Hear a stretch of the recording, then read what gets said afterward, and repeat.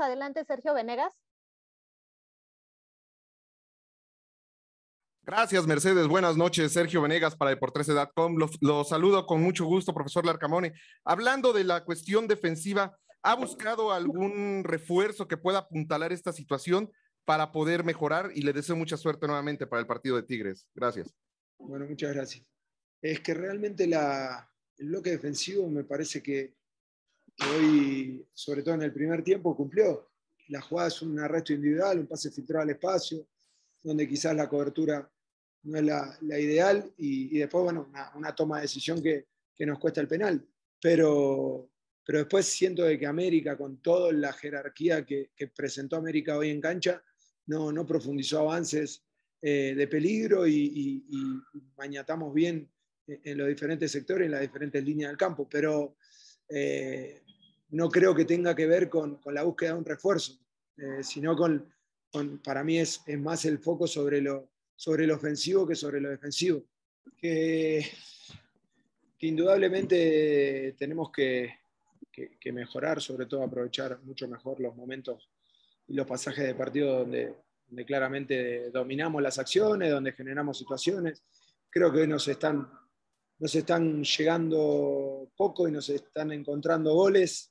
Nos pasó con Chivas, nos pasó hoy en el primer avance de, de América con profundidad, se encuentran con el penal y nosotros previo a esas a ambas situaciones tuvimos hoy más situaciones, más dominio, el otro día con Chivas eh, con mejor y peores pasajes estábamos en, en control del partido.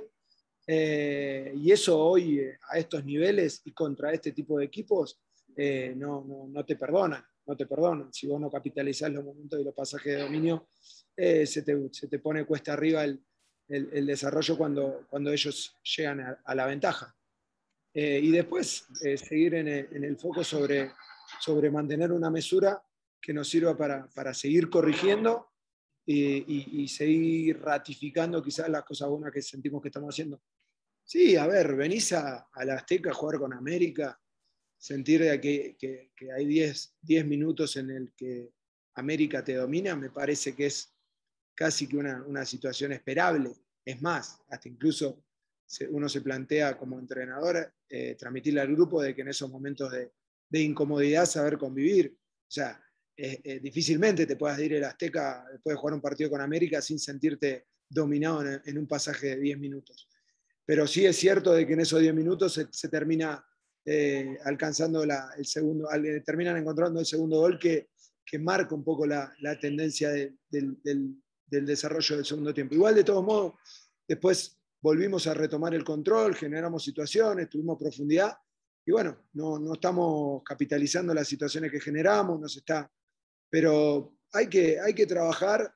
Después, respecto a la segunda pregunta, lo de la preocupación, no, preocupación no, ocupación, ocupación, nosotros somos eh, los primeros en, querer eh, puntuar y querer sumar lo suficiente para, para estar en las instancias finales de torneo. Sabemos que que van tres fechas de un inicio que muchas de las cosas que, que pienso y que te podría argumentar sonarían excusa, por eso no quiero entrar en, en, ese, en ese terreno. Me hago cargo y, y, entiendo de que eh, el contexto es, es, así y a veces es favorable, a veces un poco más complicado.